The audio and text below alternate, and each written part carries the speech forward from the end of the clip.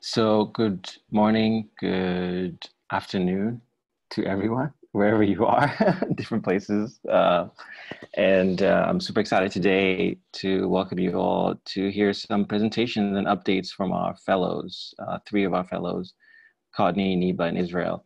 And uh, so this has been a culmination of a couple, several months actually, of just engaging and and assisting them as they develop their projects. Uh, and really, we've been a partner in this process, um, being listening to uh, the challenges they're facing and helping them design and build uh, their projects. And so today is more of a uh, an update and and hopefully you guys can jump in and as well and share your feedback on some of the things that they're building um, i'm super excited to just see where things are for for all of them um, so so so yeah. So just as uh, i want to also welcome a couple people that are with us today. Um, so morgan and riley our new summer interns welcome to both of you. Super excited to have both of you um, here with me here with us today.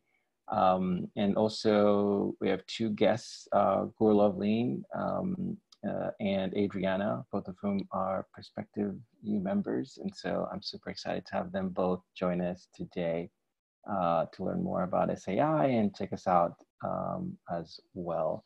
A couple updates. Um, I want to, I'm sure some of you have seen this. Um, Prasha, I just want to send a congratulations to her. I don't think she's on the call right now, but she was selected as a TEDx Fellow. Um, big news for her project, uh, just for all the work that she's doing. So really excited about that. Uh, we got, uh, as you saw in the email to everyone, we got the Stories in Science um, trademark uh, approved as well, which is which is huge. And um, the most recent news that is not public right now, and since you guys are all here, I'll tell you, is that we were awarded a grant from the Burroughs Wellcome Fund uh, to support the fellows program actually so this will be for the year and it's going to be slightly revamped and and we're now thinking about about that completely virtual and they they they really love this fourth iteration you heard me right fourth iteration uh, so different years we've applied um, four years and this is the last the, the third, fourth time was a charm so uh, lesson here is keep trying. Okay, don't give up. Uh, sometimes it's going to be hard, but you have to keep going. So we're super excited about that, and and so um, and without further ado, I want to start, start get uh, get going. Is Courtney here, or um, we can have Niba go first too? I think uh, she was she was ready to go anytime, but uh, if uh, if that's okay. Let's see, is she here? No, not yet. Okay, so um, Niba, would you mind starting us off? Fantastic. So I'll just say a quick word here. So Niba, um, it's been fantastic working with Niba over the past couple months, just seeing this project grow. And and uh, both Jessica and I were super excited when she sent us the proposal on email. And this is how they work: the people just send us proposals, and and we read them, and we're like, yes, this is fascinating. Let's figure out how to help you. And and when she sent us the project, and I won't spoil the, her, her, her spiel. Uh, we both, Jesse and I, were like, yes, let's let's let's see where this goes. And we are always looking for really cool ideas, different ideas. Uh, and it's been fantastic to work with Niba um, over the months, and uh, and you are going to be with us still. So this is super exciting. So Niba, take it away.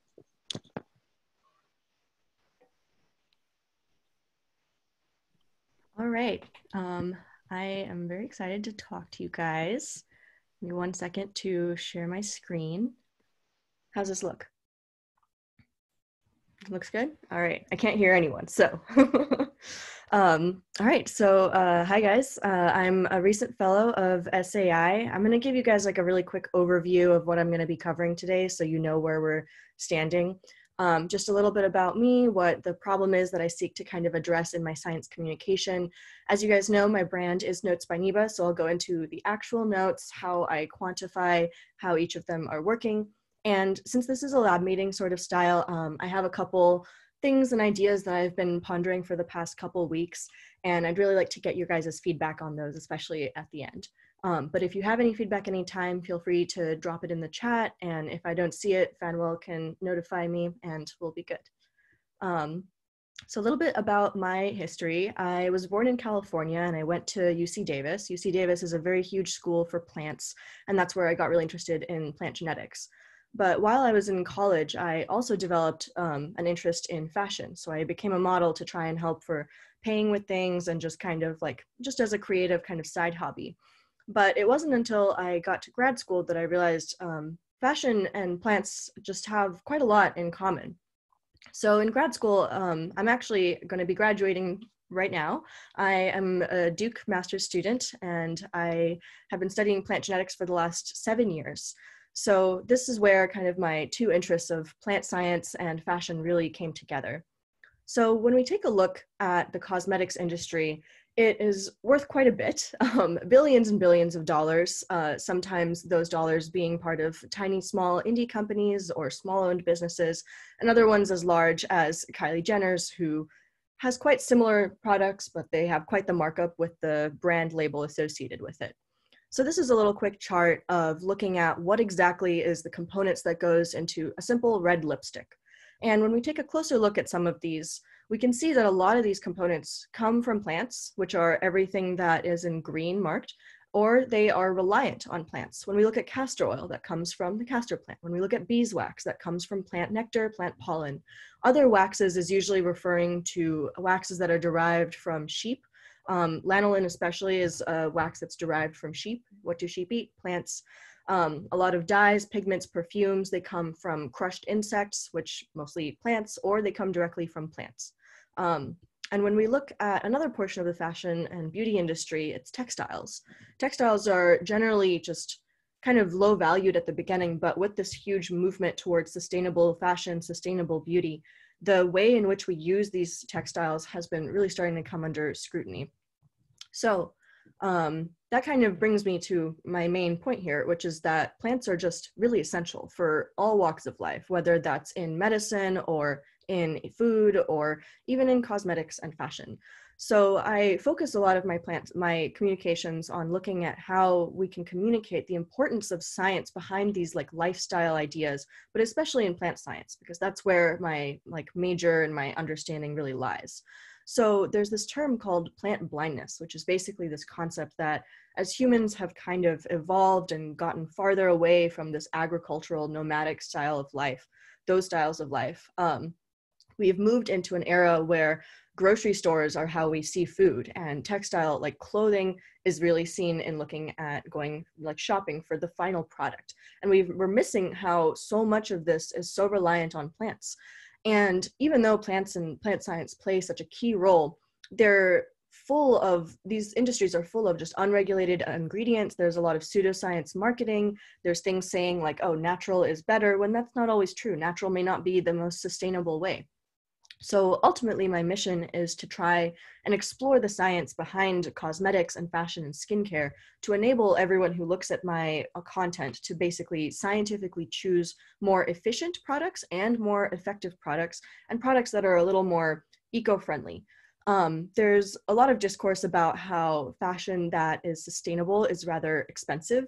So it's a weird balance, and I think it's really important to try and be inclusive of every single person's different uh, financial needs. So thrifting is one way that you can kind of get around that.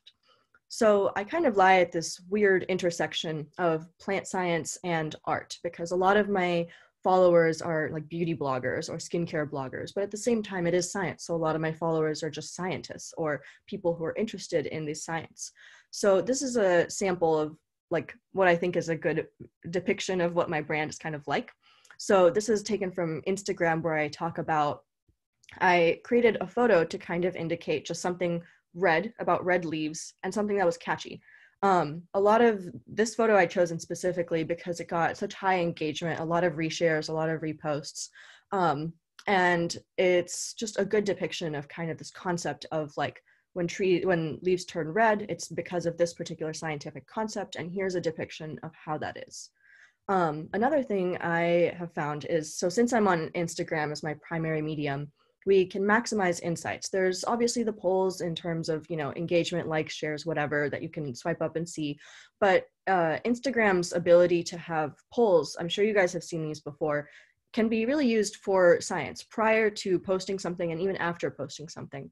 So in this photo, I had done like just kind of an artsy shoot with a dried rose and asked, what is it that makes flowers orange? Carotenoids is the correct answer. And we can look at the poll answers, looking to see how many people decide like you know what they think it is. And one interesting thing about this is that you can ask this poll before and after you have made a post. So that can kind of help indicate like you know how many people have really read your post how many people have understood its content. And that is something that instagram insights will not give you and is something that's absolutely key for any kind of science communication. Another thing um, kind of following this vein of like splitting your posts across time is um, leading up with a question. So this is a monstera plant that has holes in its leaves. And by asking the question, does anyone know why these exist? You can get little responses, you know, like people don't know. They might have even guesses or clues to kind of what that reason um, is.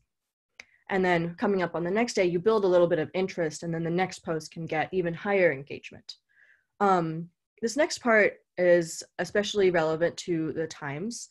Um, the beauty industry is a very white centric area. Um, as a model, I experienced various forms of you're too dark, you're too light, you're too skinny, you're too fat. Just it's people are very very um, blatant about what they want in a viewing viewing your clothes, they're viewing their clothes on you.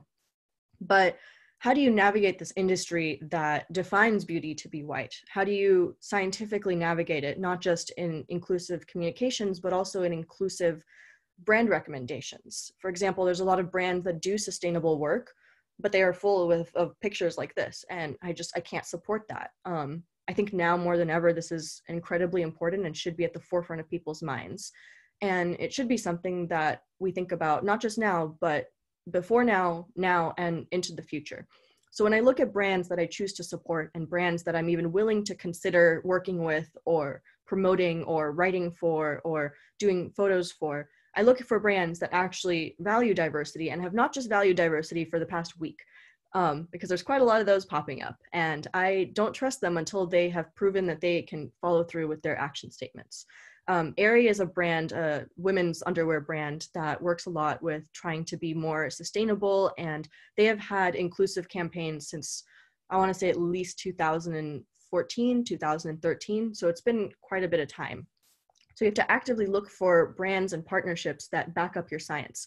And obviously, this is beauty, so it's going to be a little bit different for you guys. But when you guys are chosen to sit on panels about science, when you're chosen to appear on podcasts, take a good hard look at who they're inviting. Take a good hard look at who else you will be sitting on these panels on. And you can just refuse to sit on panels that are full of all white people or have no accessibility if they don't have text on screen for people who cannot see these are ways that you too can make a difference in science communication and making it more inclusive. So when diversity is trending, um, it's navigate it's it's tricky to navigate such a situation. Um, my brand has been pushing to have diversity and include things about skincare for people of color, for people of melanin, for people who do not have this kind of like typical white look that people just seem to think the world has. So this is a post I made quite a bit of time ago. I want to say like three, four, couple weeks ago. Um, I just pulled a recent one to talk about how if you have some melanin, it's possible that sunscreen will give you like a white cast. And it's important to kind of stay relevant, um, especially with the movement. You don't want to be posting things just because they're trending. You want to be posting things because they are relevant to what's trending and they're relevant to your brand. And finding this intersection, I'll talk about this a little bit later, is incredibly important. So, yesterday I made a post talking about how to support Black owned businesses. This is a movement that is incredibly important, um, pushing the kind of uh, importance of supporting minority businesses, pushing how important they are. Um, and that's kind of how you can try and find a way to meld these interests. I don't think it's possible to meld interests every single time, and that's incredibly important. Do not try and force it if you can't force it, because then it's just going to be obvious and painful. And especially at a time like now where people's lives are at stake, it just is disgusting. So make sure whatever it is that you're posting when stuff's relevant is actually relevant. Um, another thing that was kind of tricky for me was in staying relevant is when COVID 19 hit. As you guys know, a lot of science kind of rocketed sky high. Suddenly people were like, oh my gosh, this is important. And it's tricky to kind of decide, like, you know, how do you talk about the science that goes into like lifestyle really when COVID is hitting? And then I think a little more, what are my what are my brand? What is my goal? And I realized a lot of stuff that's going on with COVID C is vitamin C. A lot of people at the beginning of this pandemic thought that vitamin C supplements would somehow protect them from the virus. And as a result, people were buying vitamin C in like huge quantities. And there was just like, you know, people were running out of vitamin C, which is not a huge deal for most people, but for some people, they actually have deficiencies. They have issues with absorbing vitamin C. They might have a special illness that requires them to have more. And so trying to explain why it is that vitamin C is useless is really useful and kind of on brand. Where does vitamin C come from? Plants, yet again. Um, vitamin C is also used in a lot of skincare and it's used to kind of brighten up your skin and that sort of thing too. I didn't include those posts here, but that's just sort of an idea to give you guys a sense of what I'm talking about. Um, lastly, I know we only have you know 10 minutes for this so i'm not going to get super into detail i just wanted to give you guys an overview but my primary like method of communications i'm trying to shift more into is video communications. Um, this has been a tricky field to navigate especially with the rise of tiktok. Um, i think that video has a lot of power in terms of it's a podcast it's text it's photo it's video it's like just everything all in one. It does require a lot of work a lot of time but people will look upon it very very um, brightly. If you have like a brand that has like an introduction video or an explainer video um, can you guys see my pointer? Someone just nod. Yes. Okay great. Um, so this particular one right here virtual classroom visits featuring skype a scientist this was a brand partnership i did with skype a scientist which connects um, scientists into classrooms all around the world. And this one was really useful because it was just an explainer video that kind of showed how a scientist would use it, how a teacher would use it, and they found it really useful. They put it on their um, Twitter and they expl- like shared it on their sites. So um, if anyone wants a video, hit me up. If anyone wants to learn video, talk more video, let me know. Um, one thing that I will touch on now is analytics. So um, I don't know if is Prasha here, maybe because I want to reference something that she said in a meeting. She's not. Um, Prasha, during one of her meetings, uh, creator of her STEM story, she mentioned something about how she measures her growth of podcasts by tracking the number of podcasts that she records and then not by tracking the amount of downloads it has. So what she was really talking about in economic terms there is leading versus lagging indicators of success. When you are kind of starting out a brand, you can't really be checking how it's working by these lagging indicators of success. You want to check it by something that is a leading indicator so you see like where things are really going. Whoops. Um, so one thing I've been working on is just tracking how much time uh, I'm spending on all of these things and where I am with all of those. Um, so some of the tools that I use, this is for video primarily, is TubeBuddy. Here's an example of what it looks like. Um, TubeBuddy will give you kind of like keywords, summaries, results. I think this will look really different depending on what medium you choose to use. Um, if you're using social media campaigning, Sprout is a really good one. If you're using um, tutoring, for example, you want to try and have like quantitative evaluations from both your students and your tutors to see how it's going. But um, as Fanuel will definitely tell you, uh, having quantitative metrics for your work is absolutely important. Um, another thing that I very recently developed as of literally 6 a.m. this morning is a, a Gantt chart. My media has started to get so big that it's starting to get like across so many platforms and so many different areas that I need to keep track of it. You guys may have seen a Gantt chart before, but um, let me know if you guys need me to increase the size of this for accessibility. Um, but the idea is basically having a content calendar to lay out where you're putting things and make sure that across different um, media channels, you're promoting the same stuff. So if you have a Twitter for your tutoring, you might have um, a Twitter row right here with your tweet and the hashtags that you might be using or accounts that you would like to tag. And then at the top, you want to keep whatever your main brand, whatever your main platform is that you're speaking on, whether that's in person or it's through social media or it's talks or if it's even just one workshop, the main thing needs to go up here and then some sort of like date up above that so you can check like where you are in each of these things. One thing that you'll notice, um, yeah, sorry, did someone have a question? I don't think so. I think okay, just a mic thing. Okay, great. Um, one thing that you'll notice, this is a continuation from that previous um, Gantt chart, is that things will have to bleed over. Um, when you look at kind of you're if you're doing something that's a regularly scheduled programming type thing um, you need some time to check in on it. You need some time after you've posted it to check in on it to engage with your followers to make sure you're promoting it across different channels. If you're releasing for example a workshop how are you promoting it prior to the workshop? How are you following it up on it after the workshop? Um, these are just kind of metrics to keep in mind. And um, my brand is uh, i don't want to say it's going through a shift but with all of the covid and things going on with graduation um, i've taken like a one month pause. So i'm now moving into kind of re going into my pace again. So my pace really is one video every two weeks. Um, these are some video ideas i've thought of. If anyone has any comments on that feel free to drop it in the box um, another thing I'm focusing more on is using more polls for analytics. Um, this can be yes, no questions, uh, open-ended questions. One thing that, as of this morning, I've finally solidified a little bit more is um, beginning a podcast. Oh, yay, Prasha's here. Thanks, Prasha. Um, please talk to me afterwards. so, um, if you guys are in a SciComm or in podcast, um, contact me for that. But one thing I'd really like some feedback on is um, branding. I would really appreciate this because things are starting to get a little large. So um, Notes by Niba content is science, plant science, and all this lifestyle stuff that's focusing on YouTube and Insta. And I've picked those specifically because they are visual platforms by which I can communicate this visual information. My Twitter is, um, it's just all my personal stuff. So it doesn't make sense to have it be Notes by Niba, but it would be sense local, make sense to um, tag Notes by Niba within like the bio, for example. Um, something that I'm kind of wondering about is more, how do you like choose how to make your website? Should you have like a personal website a professional one? Should i separate my ones for notes by niba versus my own one? That's kind of a one i'm thinking about. Um, and for podcasts my podcast concept is uh, entirely separate from all of the work you have seen thus far. So that is another thing i'm kind of wondering is it's obviously going to be hosted on the typical podcast platforms but also might need an instagram might need a twitter those might need to be separated um, I have no idea how to go on theirs, but um, yeah, so that's my stuff so far, directions I'm going. Um, take it away.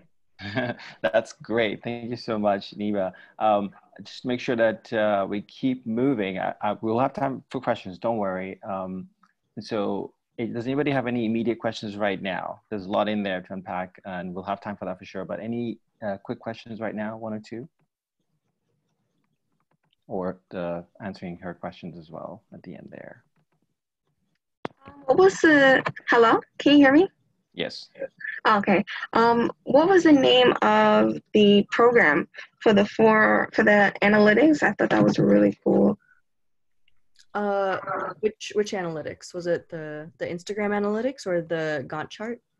Oh, I think it was the last one. The Gantt, it's called Gantt chart yeah, let me type the name in here. Um, and if you search it, chart, if you search it on Google, there's some like templates and stuff. You're gonna have to like kind of custom make it for you, but it's really just made on an Excel. Um, so it requires a bit of like Excel proficiency, but it's really just a matter of like drawing a grid of like these are your dates. Every single right. will be a date, and um, there's some templates you can look at online. Okay, thank you. We'll take one more if I can follow up that question, I wonder how, much time do you find you have to spend on your Gantt chart? Just does it? I mean, the setup maybe is the big thing, and then afterwards it goes pretty smoothly, or is it? Oh, do you find it's a lot?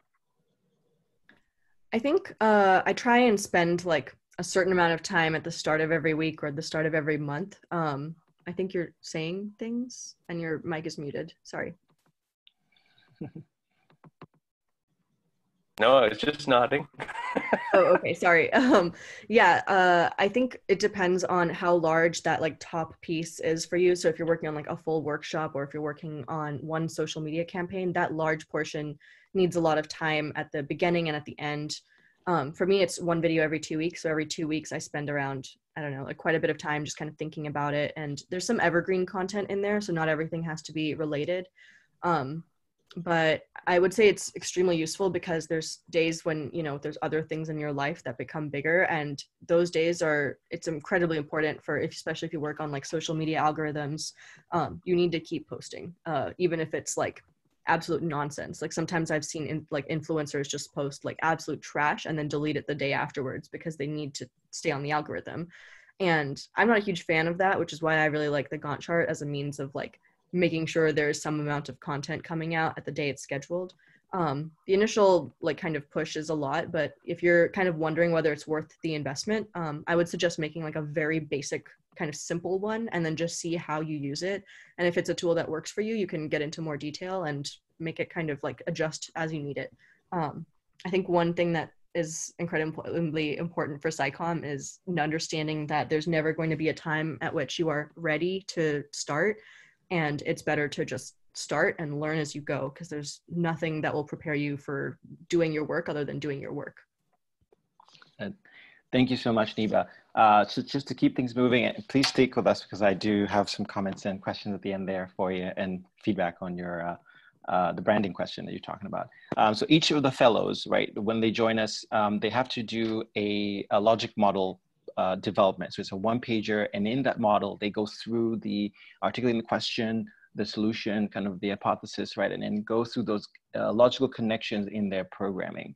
So NIBA has a beautiful one as well. Uh, and each of the following presentations as well do have that logic connection um, to their programming. And as Niba mentioned, you know, given what's happening right now as well, I think all the three projects you'll hear about today, and you've heard about already from Niba, you know, they're, they are touching on this important concept, this important topic of inclusion, of diversity right? Uh, and, and so, and one of the key things about the program is creating these new um, tools or programming that touches exactly that, the underserved and then the underrepresented, especially thinking about science and society, right? And so I'm excited to see sort of where this project goes, Niba, and how um, it, it evolves, okay? And I'm super excited to also welcome Israel, who will now tell us uh, about a, a program uh, that he's building, and this is really brand new.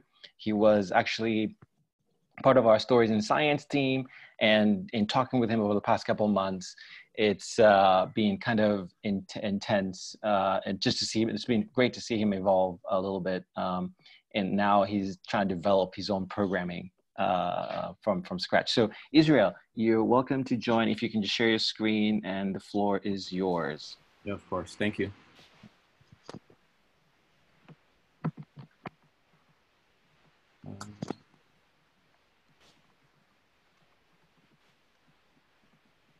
So, hi everyone. Um, my name is Israel Robinson. I'm a current undergrad at Tufts University. I major in biochemistry, and today I want to be talking to you about REAT, uh, Springfield Tutoring Program.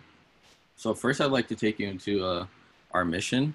So, um, our mission at REAT is to connect Springfield uh, um, current undergraduates or college graduates from Springfield uh, with current high school students to provide e-tutoring and math and English. Uh, I feel like with this extra academic support, uh, students' performance will um, increase in the classroom and um, this will carry on to state and standardized tests. And one unique thing that I feel like the program has to offer is the fact that there are overlapping experiences between the tutor and tutee and um, this for the tutor can be a, a, means of motivation to give back to the student. And um, it can also be a, a, bridge between the tutor and tutee, as we know that um, because rela- relationships are really important to build um, when you're tutoring somebody. So next, I'd like to take you into the problem. So I want to say at first, um, I think Niba mentioned something that was uh, very important. It was about staying relevant. I feel like it kind of applies here and she was uh, referring to the COVID 19 pandemic. So, at first, uh, initially, I was thinking that it was important to provide tutoring and um, assistance to uh, struggling students because of the COVID 19 pandemic. But soon, um, after some thought, some thought process, um, I began to realize that there was there was already a problem within uh, my school system that was the school system that I was coming from already that I wasn't paying attention to. And I, I feel like that problem, which has long been a problem, was that teachers are limited in there's uh, resources that they can provide to students. And um, as a result, um, students uh, suffer in the classroom and um, their success in the future is affected. So when teachers, uh, so one of the primary uh, goals of the teacher, um, I feel like from my time in the school system, was to prepare us for uh, one of the state tests. So the state test that I want to talk about today, that the tutoring program kind of centers around a bit, is the Massachusetts Comprehensive Assessment System. So um, it's a test that's given to uh, students in every grade, but specifically I want to talk about um, it being given to 10th graders because uh, in 10th grade, uh, the students must pass the test in order to graduate. So it's really critical um, for them to move on into the next grade and just move on and graduate and go to college. And the test, it covers math and English. And as I've mentioned before, teachers are usually structuring their curriculum around uh, this test so students can pass. So um, that makes our target population uh, 10th graders. And there are some other reasons that we wanted to have uh, 10th graders as our tutees as well, which was because um, when we work with 10th graders, it will allow us an adequate amount of time to gauge whether our program was working, is working for them because uh, they'll be graduating soon. They're, they're going to be rising junior soon and then they'll be graduating so we can look at these numbers and discern whether um, the tutoring was uh, doing its job and helping these students out. And um, they face the largest risk because of the pandemic. Um, I feel like because the students have been out of school since March and um, it's now June. So they've been out of school for almost three months. So they're missing out on three months of uh, coursework that can't possibly be made up um, online. So I feel like with uh, and a helping hand from the tutors that this will help a bit. Um, so these are this is our target population. So I feel like it's also good to take a look at what type of students we're dealing with. So um, this is the the makeup of the Springfield Public Schools district. So as we can see with these numbers here, there's a large percentage of economically disadvantaged and uh, high need students. So uh, the D Department of Education, they define high need students as uh, students at risk of educational failure or otherwise um, in need of special assistance and support. And that can mean that they're living in poverty below their grade level, at risk for not graduating, and um, other things. So what I wanted to paint here is that in addition to the teachers not being able to support these students when they're at home, it's hard to sort of find that support um, from family members in the household as well, seeing that uh, a good portion of them are economically disadvantaged and high needs. And these students, given that they go to college, will probably be a first generation students. Uh, so next I want to take you into um, the MCAS scores, uh, what I was talking about earlier. So here are the, um, the scores for Springfield. So in order to carry on and um, receive your diploma, students need to partially meet expectations. As you can see, a good number of students do partially meet expectations. Uh, but the thing is, I feel like uh, the state is selling the students short on partially meeting expectations because it essentially means that they perform fair on the test, but given that they have some time to um, the rest of their time in high school to uh, brush up on their mistakes, they should be able to graduate. But this idea um, that they'll, they'll be able to make up on all those losses uh, isn't feasible to me. And um, I think their poor performance on just, just the state test will also translate into uh, other standardized tests like the SAT and um, and just affect their going to college. So I also think uh, by looking at these MCAS scores, uh, it kind of explains why there aren't a large percentage of these students who are graduating from high school. So I highlighted um, specific subgroups that I thought were important to view, and these were likely the, stu the students who were struggling on the MCAS and failing to meet expectation or meet expectations or exceed expectations. And uh, to further put things into perspective, I feel like it's good to take a view at uh, some other districts around Massachusetts. So um, Cambridge.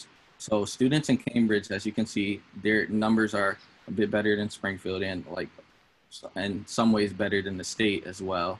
And as you can see, um, it's reflected in their graduation rates a bit. So um, their graduation rates are are higher than the ones I, sh- I showed for Springfield. Not great, but they're still um, higher for those same subgroups. And uh, I'd further like to show Lexington. So um, Lexington, um, it's a small town, uh, but the thing is uh, about Lexington, I feel like they have a ton of resources to offer students, especially um, even during a pandemic and in the classroom. And um, their graduation rates would reflect that and look similar to um, how well they perform on the MCAS. So um, their graduation rates are pristine almost for the subgroups that I highlighted. And I just wanted to show a side-by-side comparison of these different districts. So um, as you can see, uh, Springfield versus Cambridge on the left and Springfield versus Lexington on the right. Um, the other districts are, perform much better than um, Springfield. Um, I forgot to mention the dots are showing the percentage of students that are meeting or exceeding expectations. So uh, for Cambridge on the left, it would be 60% um, of them were meeting or exceeding expectations for the English MCAS and uh, around the same amount for the math MCAS. And as you can see with uh, Lexington, uh, uh they're in the 90%. And again, uh, bringing it back towards the, the subgroups that I thought were important uh, to help. So the high need students and um, the economically advantaged, disadvantaged students. So what I really wanted to try to portray here is that that students us, but it's that they don't necessarily have the the resources in place to achieve the success that we want them to. So uh, as you can see, the high needs and economically disadvantaged students are uh, performing better in uh, other places like Lexington and um, Cambridge. So it's definitely possible and we can make that work in Springfield as well. So I told you a bit about the problem. So um, the solution that I have in mind was the tutoring. So I wanted to take you to um, the tutoring approach. So I feel like most tutoring programs, uh, they just rely on um, communication between the tutor and the students. And um, that in some ways could be good, but at some ways I think you're at a disadvantage. Um, so based on that, I wanted to reach to use uh, the teacher as um, to communicate with the teachers in order to help um, better improve the um, students' performance in the classroom because uh, for the following reasons. So I believe that teachers and uh, tutors, they can work together uh, to ensure the student's success. Um, the teachers can inform uh, the tutors on the students' weaknesses and the best way to work with them. I feel like this is very useful to get the most out of a session and vice versa. The tutors can let the teachers know how uh, to best work with the student in the classroom. Um, also, uh, teachers and students can decide on benchmarks for um, the student to reach and watch their progress and see if they're um, hitting the mark. So, um, and also, big thing with teachers is that they recognize hard work and are willing to reward students for the hard work that they put in the class. And um, so what will our tutors be doing? Um, so tutoring will be online and it will be at uh, any time the tutor and tutee agree upon. I feel like this is very important because again, seven, I, I can't remember in my head specifically, but 77% I think were economically disadvantaged. So I, I can imagine that means that students, especially those in the 10th grade, are, are looking for jobs and um, to, to support their families and have to fulfill some household responsibilities. So if their tutor, their teacher may be offering extra help hours for some certain time and they're not able to make it, then they missed out on an opportunity. So I feel like this really addresses that issue there. Um, so tutors will meet with students weekly for an hour to address concerns uh, with the coursework and sort of to gauge their understanding uh, of the coursework and also like relay this information to the teacher to mark their progress.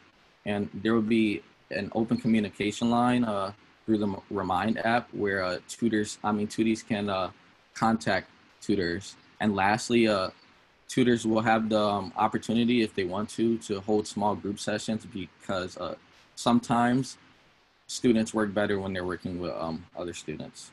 So lastly, how will we track our progress? So after each tutoring session, uh, I feel like it's important to have online journals to keep track of the student's progress over time. Um, also, given um, that there, we have communication between the teacher, we can see how the student is performing in the classroom, that being on tests and quizzes. And in the long haul, we can see how they perform on the state and standardized tests, and ultimately, if we can increase graduation rates for these students. And some future ideas that I have for the program is implementing a mentorship in addition to tutoring. Uh, I feel like that was uh, pretty useful because, again, we're, we're coming from similar background. We, we have overlapping experiences. I, I feel like this is a great way to connect with students in order for them to better visualize success and um, see themselves maybe going to college and majoring in different things like computer science, economics, um, economics, and uh, biology or any science majors. And I was also thinking of designating uh, tutors to work as sort of like TAs for teachers to assist um, um, the teachers, especially those at big schools, because they can have hundreds of students. And that is all for today. Thank you. Thank you so much, uh, Israel. Is there one quick question um, somebody wants to ask uh, or comment for Israel? Yes, may I ask a question? Uh, yes, Gorilla Lane, go ahead. Sorry, so my lights had went out, which is why I got bumped off the session. And I came in uh, at the point where the data be was being shown for the differences in students' performance, I believe, uh, or graduation rates, one of those two. Um, so anywho, my question is related to the REACH model. I was curious if there is, uh, if you've already collected data, or is this the first time you're implementing the REACH model to say that the REACH model is like more likely to lead to success than Oh. what's already happening? So I, I'm saying I haven't been able to collect data, so um, we're we're going to be working with students soon. But it is that uh, I'm assuming that the Reach model will bring more success because I've had experience tutoring that being like on the college level, like tutoring my fellow college students and um, tutoring high school students. And I feel like there's always just this lack of communication between the tutor and the student, and sometimes that can be a, a barrier to helping the student achieve some sort of success because sometimes uh, tutors they don't always know maybe maybe don't always know what to do uh, with a, a student's assignment and they're they're just stuck. And sometimes i feel like that stops the student from making progress. I don't know if that answers the question but since that's no longer a barrier i'm seeing that as a, a way that we can have further success with tutoring. I I was curious about the link between the teacher and the tutor. It seems like that's the link you're adding into an Mhm. already existing model. So I, I didn't I didn't hear. So is that the link you're testing now or will be testing, and you don't have any data for that? You're just making an assumption that if this is added here, the results could be better. correct Right? Okay. Yeah, it's the the the, te- the assumptions, right? You're going to test that hypothesis, right? Yeah. But what Gurlov is getting at is, I think there might be some existing data you can look into, some studies that have looked into this, and I'm sure there are uh, in terms of looking at that link. Um, and I would suggest perhaps looking at, you know, the TA model, the future idea you're thinking about. You should make that your present. I think. Um, uh, you know, I think the teachers work with them, figuring out, you know, will this work? Talk to them, right? And I think Gor- Gorlin, you agree that I think talking to the teachers and just hearing them directly, Yeah. uh, things um, will give you some. a little bit of, yeah, a little bit of a customer discovery kind of thing where you go and talk to different persons to actually find out if this is something they actually want to in the first place. And two, I think it's important to, since you're working with economically disadvantaged students and you want to do online work, you want to make sure that the technological divide isn't there or present for the sample you're working with. Because otherwise, I mean, the, you just want to, I guess, test the basic premises that you're setting up for your work, if that makes sense. Of course, thank you. Yeah, no. Excellent. Okay, so to keep going, uh, Courtney um, is up next, and uh, it's been great to work with Courtney the past couple months. And um, Courtney, uh, the floor is yours. I'll let you do a quick intro. Um, could you try to share your screen?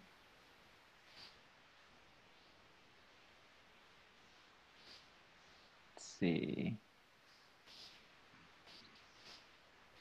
Okay, can you unmute yourself and then we can uh, hear you. Okay, hello everyone. Um, my name is Courtney Nelson. So um, I've been working on millennial science. I'm going to share my screen right now. And so that's what I'll be presenting today. Um, so what millennial science is is is basically a non-for-profit that aids students, disadvantaged uh, backgrounds, um, just focusing on STEM programs and and how can we facilitate a need for them.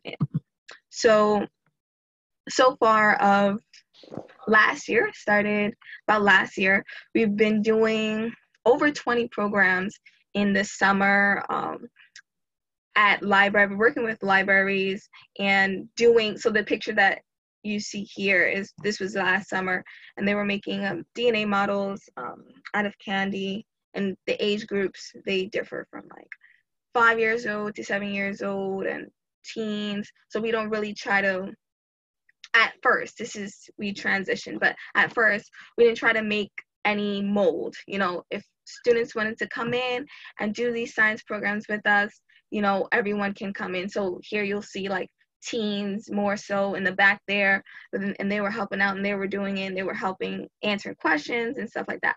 So um, yeah, we focus on aiding students in their educational goals. Um, they have aspirations of being in the science field. Um, that's what we try to generalize the importance of that. So say I have a lot of mothers and parents come to me, oh, okay, um, they want to do these, uh, they want to be a part of these events. But we try to keep the parents out and we just focus on the children's needs. What do they like? What are they interested? Do they like astronauts? Do they like um, biology you know things of that nature? So it's focused on the students. Um, it's a mentor based structure. I feel that representation matters. So the people that work with me diversify completely across the board so all different walks of life all different backgrounds, all different races, um, and we help to we help to bring these students to understand from a more person to person point. Okay, I've I've been here, I've done this, but I still was able to be in this field and work on this and and cetera, et cetera. So that's why we focus it on on mentor based.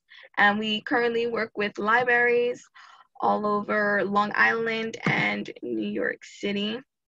Um, so in the areas that we focus on, they're mostly um, minority based areas. So right now we're working in um, Hempstead, New York, uh, Queens, New York, and uh, Baldwin, New York, and Roosevelt, New York. And we're working with those libraries specifically. Um, we've also started a new goal for this year that I've worked with Fanuel with uh, for our after school program to measure the student success um, and growth. So come to me and the need is I want to do something in STEM. STEM interests me. I don't know where I want to go in it, but this is something that I want to do. Okay, great. Um, let's do this program that will keep students engaged for the four for the four years and um and we'll be able to help them and assist them whatever they need as far as um college applications um letters of recommendation and things of that nature for the entire four years. So you start off in ninth grade and then you work your way up to 12th grade. So pre-COVID, we got pretty far. Um, we signed off with Uniondale High School in Hempstead, New York, and they are basically willing to have us come in and work with a small set of ninth grade students um, and being able to really see if we can put data to these programs because what I've been doing is working with different libraries, doing different programs with different sets of children um, and teens. So if we are able to have an after school program or kind of club like situation where I'm with the same students and we're, we're working on um, different goals, we could actually quantify the work that we've been doing. Is it working? What's not working? Um, and, and how are they improving in their not only in their life goals to for college, but um, in their aspirations of working in the STEM field. Do they continue to maintain that that that um, that thirst for that field that they choose to work in. So if they are in biology, they're interested in biology. As the as the um as they continue in school from ninth grade to 12, are we able to continually stimulate them into wanting to stay in this profession? So the problem statement, um, improvement on college acceptance and graduation rates at Uniondale High School. And our mission statement was to increase those graduation rates and get STEM geared students accepted into college um, through motivational and college geared programs.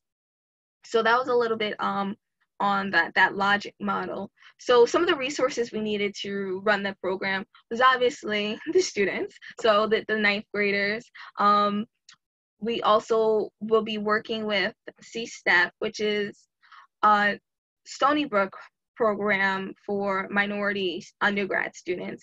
And they would be coming in and basically helping facilitate some of these programs. So it will be every week for one hour a week. And it's really intensified because, um, like Israel mentioned, after school, is you have a lot of responsibilities. If you're not working or you have to, you know, babysit another child, so we try to max it at um, one hour. So being able to have the, the C-STEP mentor group come in and help facilitate some of these programs is is pivotal because we get a lot more done with more people um, if they're able to speak to them one on one, they can be able to help get them to the end of the program. So, and then the guidance counselor, Ms. Pollard, um, would also be helping as because as the years go by, we want to know what is the guidance counselor, what is the school doing already that we are we are bringing help towards. So if you're already going over uh, college essays, you know, we don't want to continue doing the same college essays. Maybe we could do it a different way. I'll have um, maybe we could just look at them maybe you know things of that nature. So working closely with the guidance counselor and seeing what is already put in place and just having things in addition to that was really important. Um, and then on ninth grade activities so during each week so for the first week, students will be exposed to uh, the fields of genetics and astronomy and physics through interactive programming, basically understanding what is STEM, what does it do, um, what makes you interested in this, really diving in to the student's needs. Um, we're focusing on having a test that could just basically, not a test, but just a basic questionnaire that we can help the students understand what is it that they want to get out of the program? What can we help them you know and being able to have that at the end of the program too? Were we able to help you in this manner? You know etc etc and then um, week two just hands-on uh, programming working with um, brandon jobs. He through a robot robot building activity. This way it's more hands-on. We're getting we're getting we've already got them interested. And now it's more the fun stuff you know and things finding ways in stem that can continue to stimulate these students. And then week three students will be asked to select three schools that have a strong focus on their major and guided in how to search for college admissions and statistics. So we get more into the nitty gritty um, of college work starting from the ninth grade because as they go on, we're going to continue, but we want to give them like a basis to start from. And then in week four, an early introduction to national testing. So here in New York, we start, um, students are given the PSATs at in 10th grade. And um, it's a test that it has to be paid for and things of that nature. So, and you can get scholarships from if you have a high score grade on this test. So we introduced that in the ninth grade to get students prepared from early and um, giving a brief overview, visual, visualizations of the test, sorry guys, and um, its importance, you know, why these scholarships can help aid in their college funds, obvious reasons, and getting waivers to these students beforehand so they don't have to worry about, okay, how am I gonna pay for this? Um, and then week five, um, we're going to go over the process of creating SMART goals. And this is very, very important because we're going to be using these SMART goals once they learn how to do it throughout the program, um, throughout the four years, and getting them to be familiar with setting these goals that'll help them you know get to where they need to in their classrooms not just in the program um, in the club that we have set for them and then, um, and lastly, for the last week, we'll do an open table discussion. Um, and students will discuss what they learned, what they would like to learn for the 10th grade. Um, students will be given a synopsis of next year's pro program, you know, to look forward to and things of that nature. So overall, by the end of this ninth grade program, the outcomes that we're assuming would happen is that students will have pinpointed after the work with us um, and the C-STEP mentor group and all those other other people that we have working in the team. Um, students will have pinpointed two to three schools of interest for their in- undergraduate education. Students will have learned basic principles of how to code. Students will get into the habit of using the acronym SMART to set and achieve goals on their own, and that and that 100% of participants are registered to take the practice SATs for the following spring um, tests. Uh, okay, so that purpose. So I kind of went over the purpose just now. Um, COVID-19. So because of beautiful COVID, I mean, the principal has mentioned that we're going to hold off on extracurricular activities as of now until um, we learn how we can manage all of the all of the extracurriculars that they have at this school already.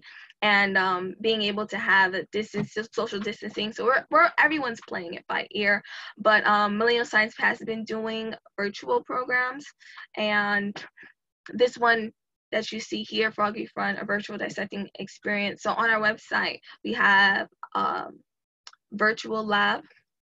So it's basically where i do lab centered um, events and I get students from these libraries and we partner and they get the Zoom links and everything like that. And um, we're basically explaining, you know, what what each, depending on the actual event, you know, what it means to be a, a scientist, what it means to have um, dissections and uh, anim- just reading from the script here, uh, we compared and contrast anim- uh, excuse me, anatomical difference to frogs to humans. So being able to show students, even while they're at their homes, listen, you could still do and have fun with science. And that's always been the basis of millennial science. So being able to have those virtual programs, virtual labs, um, as we call them, and it's a picture of me facilitating one. Um, I think that was last week. And we have another one planned for this month. So we've done uh, seven in total virtual lab sessions. And I've did one in radiology where I showed the actual um, actual x-rays of broken bones. And we deciphered whether it was from a um, dislocation or was it a fractured bone you know things like that. And, and the children really really enjoyed it. And they're free you know, Millennial Science is focused on giving these students, giving back, and everything is free. We've partnered with the Drunken Laboratory, which basically does science experiments and they have drinks and things like that. So, and they've been sponsoring a lot of our virtual events because they understand the need for science in these times. So that's been really fun. Um, in regards to the after school programs, we're still playing it by ear, how we're going to go about that. And that is it. Um, you can follow us on our Instagram and our Facebook at Millennial Science and the website for updates on our next events, our virtual labs, um, and we post updates regularly on our Instagram. So. Mm-hmm. Great. Uh, thank you so much, Courtney. Um, so th- those were our three of our fellows uh, that presented today. Uh, we do have a couple other ones, but they will be talking today. Um, and so the floor is open now for discussion, questions, um, thoughts on any of the presentation. Um, and I, and I, I want to read a comment here from Adriana. Um, she said she, she did one year of virtual mentoring program in high school students for the NYS uh, focus on developing leadership skills and working on college applications. Uh, she can share details if, if it helps you, um, Courtney. So I think that's that's a great uh, idea, Adriana. Yeah, definitely. Um, so if you can just send it to me, Adriana, that'll be that'll be forwarded to to Courtney um, on that. So so the floor is open, guys. I, I I can talk all day long, but I'll shut up. So.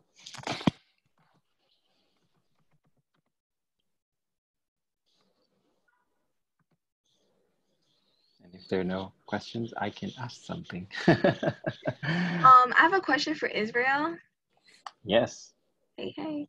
Um, I really loved your presentation, and you were able to get so much data, well, presumable data, um, with this with the schools, and pinpointed the need. You know, Fanuel worked with me a lot on pinpointing the need for students. I'm very focused on like just helping everyone any way I can. But um, what what what was your what was you, what what helped you the most in um, being able to pinpoint the the need and and finalizing on what data would would um, at, put your program at a at an advantage? Okay, so um, uh, I think I have to mention first that the data that I collected is from actually from the Massachusetts Department of Education. So all of this is like public data that I use, and it's Oh, okay, okay. data. So I, I took advantage of that.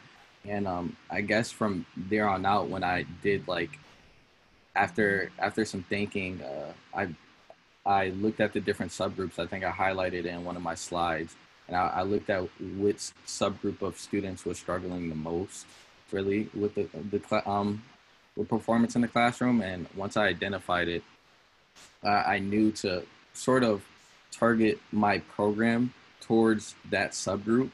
Further, I I kind of specified it even more uh, with some thinking too, because like you said, I want to help all people. Like there are there are kids in every grade, K through 12, but Right. just the the idea of helping all of them all at once, like right now, the idea wasn't feasible.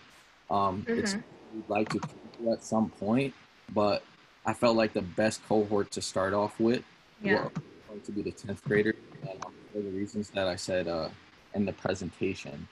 Yeah. Does that answer your question? No, it does definitely. Thank you. I think finding that problem is critical. Uh, understand. Yeah. Problem too. So um, Fanuel worked with me on that. Um, finding the problem, I, I've gone all over the place. I think I've had like a ton of different problems um, I found out like which one was probably the most appropriate. And it was just I, I had to kind of I don't know being from the actual school system kind of helped me visualize what the problem was Right. pull myself back and like what was some persisting problem that I and all students would always have. And it was just like getting help from the teachers at some point, like because Right. they just have so many students and um sometimes you can stay after school to get extra help from the teachers other times you can't because like the data showed 77% of students were economically disadvantaged i know with my parents like when i had to stay after school i had to catch about three buses to get back home Yeah. sometimes that's just not an option for students and just like with everything else they have going on in their life so i felt like that was big I'm sorry. Last question. So my follow up would be: So you just want to stick? Are you going to be continue working with the tenth grade? Just you know, over time. That's the So- point. over time I, so first i'm starting off with the 10th graders at one school before i start moving into other grades i'd like to move on to like 10th graders at uh, all the high schools in springfield at 1st and then uh, consider moving on to uh, different grades and i think like the next grade would be probably the ninth grade and um yeah Yeah, that's great. So each, as I mentioned earlier, everybody has a logic model, and you know the problem is the first thing they have to do, okay, and then walk through all the connections. And uh, Gwendolyn, I, I know you you're like into evaluation, okay, and so she's we, we started talking recently about this. Uh, what are your thoughts just about thinking about evaluation from a program design point of view, whatever they may be, right? It could be any tool. What are your what's your advice in general?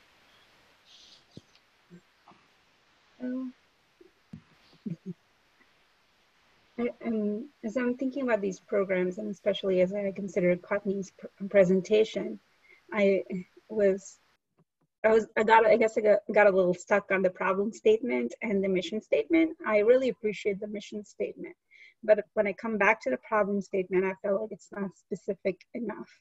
You need to go a little bit more into detail about your like you're thinking about smart goals for the kids, but you also need to think of course about a smart goal for yourself or for the program. So if you frame your problem statement as a smart goal, that will definitely help you when it comes to assessment towards the end if you were actually successful in meeting uh, what you had set out to meet. Because um, and I also think it's important, and I'm not sure how much research has gone into this yet, but it'd be important to look at, um, um, I think you had in the problem statement college acceptance rates, right? Or I, I forget what your actual statement No, yeah, no, you're right. Yeah, I did mention that. Mm-hmm. So you have two concepts in that problem statement, I believe right? The first is mm-hmm. college acceptance rate, and the second is I forget what graduation rate. Yeah, graduation rates. So those uh, I am curious how how much of an exploration you have done. So I know you're thinking about like problem scope and wanting to help everyone, but like just pick one school and seem like you're picked one school. So go into detail, like doing a case study sort of thing, like go in with your detective lens and look for what like what is the problem in terms of college acceptance rate and in terms of graduation rate at this particular school. And talk to talk to all different types of stakeholders at the school. Talk to the students talk to the teachers talk to the counselor talk to the principal uh, talk to like the after school persons it seems like there are after school people there all of them are likely to give you different type of information to that would help you really figure out where exactly the problem is when it comes to the college acceptance rate and comes to graduation rate. And then think about how and if that problem that you've now identified by talking to so many people actually links back to the program you've designed, right? I, I see I see you have beautiful designed program that's related to STEM, but I'm curious to see or understand if uh, doing those types of activities, the STEM activities are actually um, linked back to or could increase uh, the acceptance rate or uh, you know college graduation rate and those two things i believe like especially if you i don't know what grade you're wanting to focus on but if you pick a grade um, i think there'll be some lag time between you can actually identify when the college acceptance happens or if it happens and when the graduation happens, right? So you also want to think, and that's like a long-term goal, but you want to think in like mini terms. Is your program um, or short term? Is your program actually accomplishing what you set out to accomplish in terms of your SMART goals? So it's really important to be very specific about your goal to be able to figure out uh, which so that you can measure. So you need to be measurable in the first place to know what you're measuring right? So that's something I was thinking about as I was thinking about your problem statement. So right. some thoughts that popped in my head. They're helpful. Right. No, thank you so much. Um, yeah, so like I mentioned, the, the, the guidance counselor is, is someone that we're going to have on board, um, you know, helping facilitating what, what the need will be as we continue if changes to our program happen. And I've worked with the principal um, and the director of science for the district um, of Hempstead, um, of Uniondale, sorry and the college acceptance rate was 85% for the students in the, in that high school alone, and then the graduation rate uh, was 72%. So we thought these are these these rates 85% is really great.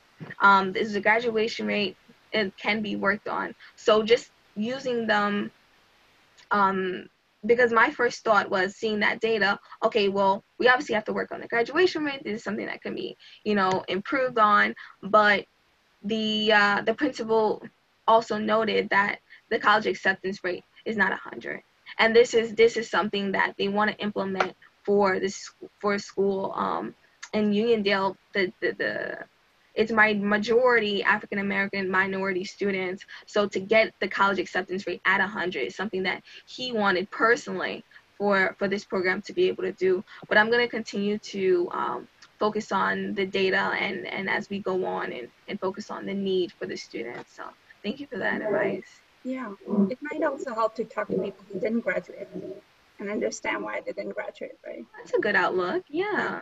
Those, those, because that's the group that didn't make it. Right. You want to know about them. Um, yeah. So that you're. Why did they fall through the cracks? Right. Yeah. So that's that's someone you want to think about more. Yeah. I don't know how you would get access to them. I know it's really hard to even get access to like Stanford. Right. No, that's really great. But yeah, but yeah, like I think that's an important group to talk to and think about because those are people who are not making it. And, Right. and also it seems like you're interested in um, gearing students towards STEM and you want to think about like how that goal of yours that people actually develop an interest in STEM is related back to the graduation rate or the or the uh, acceptance rate. Are they actually related, right? Mhm. And those two goals are I, I I'm right now I'm having trouble seeing like how those two goals are related. So I, I second that. Okay, you took the words out of my mouth. and also and also you want to make i know the principal really wants people in college but you also want to be mindful that there are other avenues to go out there and be successful college is not the only route you've got trade schools you've got businesses so those people are also success as far as like you go it might not be success in the principal's eyes or that may, might not be their focus but you have many options in terms of how you can measure your uh, success Yeah. Yeah, that sentence alone. There's many options to be able to measure success. Yeah, and that's definitely what I'll um want to bring up and, and and focus on too. Not So- have it so centered. Yeah, the advice, you know, in general here, uh, I just want to summarize on this question. You really want to focus.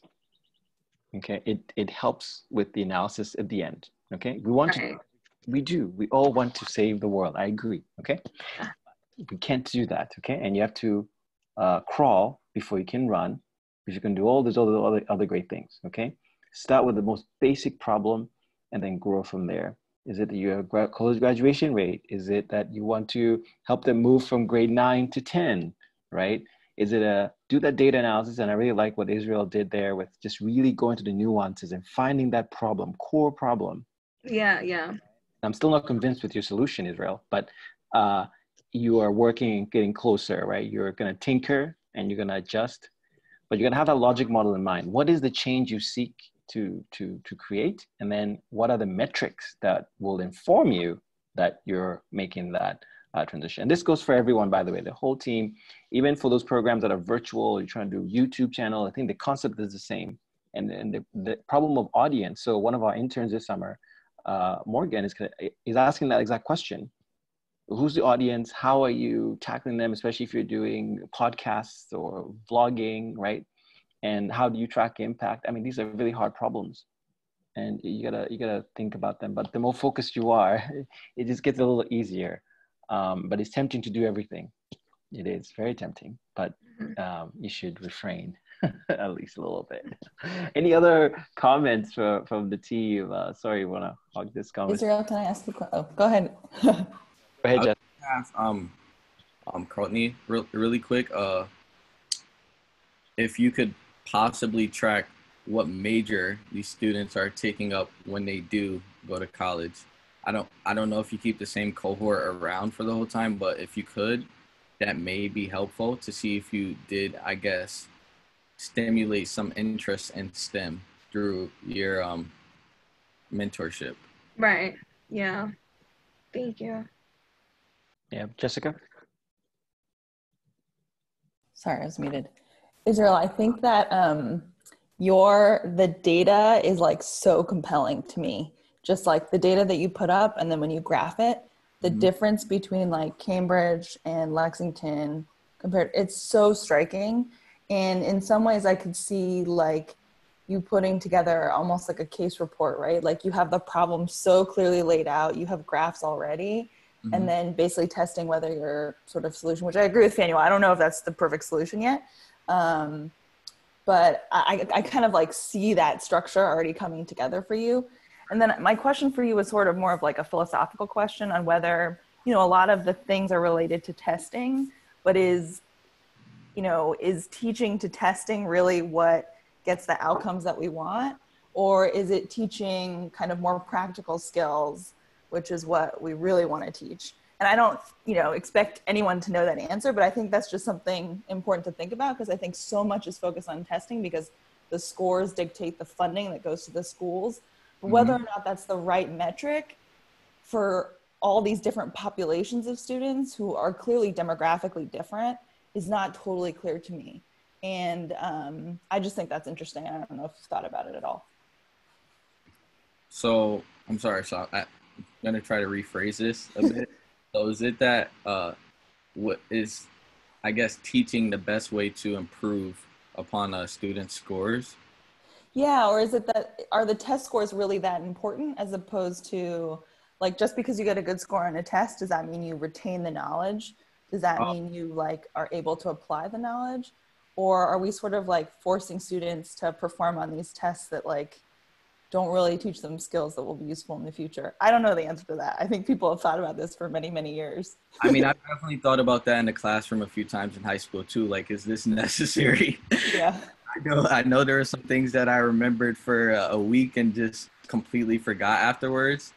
That I feel like uh, you're right about it. It's like uh, a philosophical question. I feel like um, sort of epistemological Yeah. that I can't completely answer right now. I just know like the main focus for me is uh, the the students doing better on the test because I don't want to say this because it kind of sounds like an excuse. I the system is the way it is. I I I don't always I don't always agree with it, but since this is what's in place and it's the current barrier to these students' success, then I'm gonna try to um, help out in any way that I can to help them overcome that barrier. Um, further, when I guess like I feel like that's more personal when you're learning on when you're learning on a personal level. It's like, is this important to me? And uh, in high school, I don't I don't even know if you really understand or or like can perceive that yet. If, if you know what I mean, because you're just taking a bunch of like core subjects. None of them really get too specific on any sort of issues or any topics enough. I feel like for you to gauge your interest yet. Yeah. I think someone should work on this on the from the I so research. too. Uh, Jessica. My only other comment is I think that we, Fanuel and I have a friend from grad school, Ime Williams, who I think we should engage, who his entire PhD was basically studying these really, really large data sets in multiple states, looking at um, basically the relationship of student performance to the ethnicity of different principals Mhm. and like the principals of schools. And he has like some really, really compelling data, and he's now a data scientist and stuff. But I think we should kind of get him interested because I think this is like kind of right up his alley, and I think he has some good ideas too. So That sounds like a great idea. I'll ping him and see if he's he's busy, but see if he's interested. Yeah, I think yeah, you should you should talk to him, Ime, and pitch your project. I think, I think, think he would have some really good ideas for you. yeah. So we'll we'll make that happen for you. Okay. Awesome. Cool. Um, any other thoughts, comment? I think Niba had to jump out, unfortunately, um, or she may be still here. I don't know, but I don't think, I don't think she's here. Um, yeah. Any other uh, comments? A quick question. Yeah. Uh, for Isra. I hope I said the name right. Well, you're good. You're good. okay. uh, what, which, uh, I see that you tried to separate out uh, your data by the ethnicities. Which statistical test did you use? Sorry, say that again. Which What statistic- statistical test? yeah. Did you use to kind of separate out the performance by the ethnicities? So this this uh everything that I use, I just went to the Massachusetts Department of Education website, and you can filter out for all different sorts of things. And so I, I did that. Okay. So there was no uh, correla- uh. So there was no um, variation data. If you look at it, it's just basically raw data in terms of different schools. Uh, so there was no any test per se. I don't think you tested if there was a difference between the actual, you know, statistical difference. Mhm. the raw number Mhm. that there is a difference. What I'll be curious to know is the variance. Now I don't know if the schools are showing the variance there. Like I don't I don't think they share the full data set. it's just not there. So ultimately this is like visualizing just in general how it is. But I would like to see that distribution, right? And I bet you it's very noisy, uh, very, very noisy. So, but there's like an actual difference. But the, the different, I mean, the, the separation is pretty high. The question is, how confident are you in that uh, separation? Right. Uh, Okay, so thank keep in mind. uh, Israel.